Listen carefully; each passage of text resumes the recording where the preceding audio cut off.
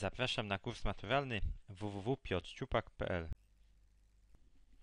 Samochód przejechał 180 km jadąc ze stałą prędkością. Gdyby jechał z prędkością o 30 km na godzinę większą, to czas przejazdu skróciłby się o godzinę.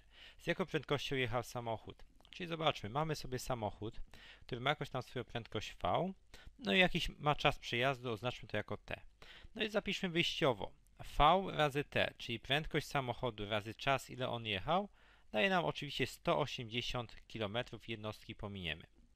No i tutaj w drugiej, tu się zaczyna gdybanie. Gdyby jechał z prędkością o 30 km na godzinę większą, czyli gdybyśmy zwiększyli prędkość o 30, natomiast mm, czas by się wtedy skrócił o godzinę, czyli tutaj czas byśmy odjęli jedną godzinę, czyli byśmy mieli t minus 1 i to się właśnie równa 180. I zobaczmy, mamy taki układ równań. Mamy v razy t, czyli prędkość wyjściowa razy czas daje nam 180 i później zgdybanie. Gdyby zwiększyć prędkość o 30, to jechalibyśmy o godzinę krócej, co jest oczywiście logiczne. I musimy ten układ równań rozwiązać. Robimy to w następujący sposób. Z tego prostszego równania wyznaczmy sobie v. V to będzie 180 na t, no bo podzieliłem tutaj stronami na t, żeby otrzymać v. I teraz to 180 na t wstawiam do drugiego równania w miejsce v. Jeszcze zanim przejdziemy dalej, pamiętajmy, że prędkość oczywiście w takich zadaniach musi być większa od zera, no i czas też musi być większy od zera, bo wtedy no, zadanie nie miałoby e, sensu, jakby wyszła nam na przykład ujemna prędkość. Liczymy zatem. Podstawiamy w to miejsce, czyli mamy 180 na t, dodać 30 razy t minus 1 daje nam 180. No i mnożymy 180 na t razy t to jest 180. 180 na t razy minus 1 to jest minus 180 na t. 30 razy t to jest 30t.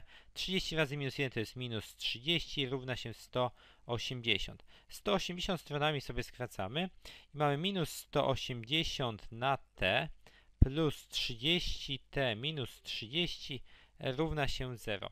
Mi się nie podoba t w mianowniku, no to pozbędę się tego t mnożąc przez t stronami.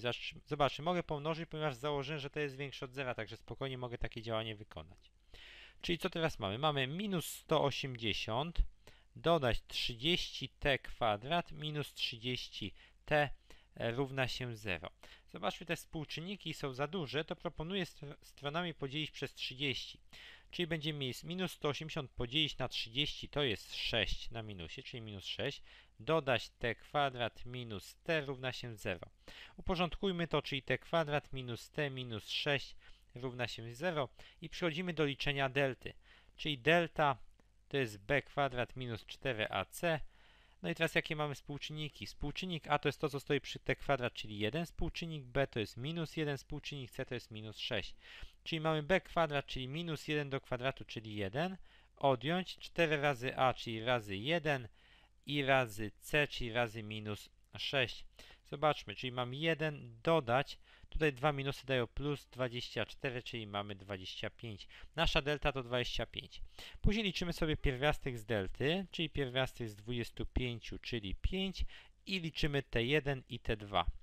t1 to jest minus b odjąć pierwiastek z delty na 2a, natomiast t2 to jest minus b plus pierwiastek z delty na 2a. No i podstawiamy. Minus b. Nasze b to jest minus 1, czyli minus b to będzie 1, bo zmieniamy znak. Odjąć pierwiastek z delty, czyli odjąć 5. Podzielić na 2a, czyli dzielimy sobie stronami na 2, czyli mamy 1 odjąć 5 to jest minus 4 na 2, czyli minus 2. A tutaj mam 1 dodać 5 na 2, czyli 6 na 2, czyli 3. Oczywiście czas ujemny być nie może, czyli to wykreślamy, czyli nasz czas to są 3 godziny.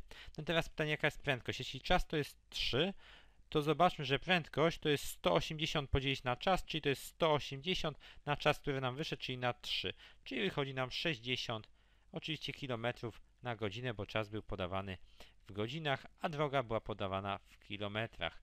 Czyli odpowiedzią na pytanie, z jaką prędkością jechał samochód jest 60 e, km na godzinę. To jest odpowiedź.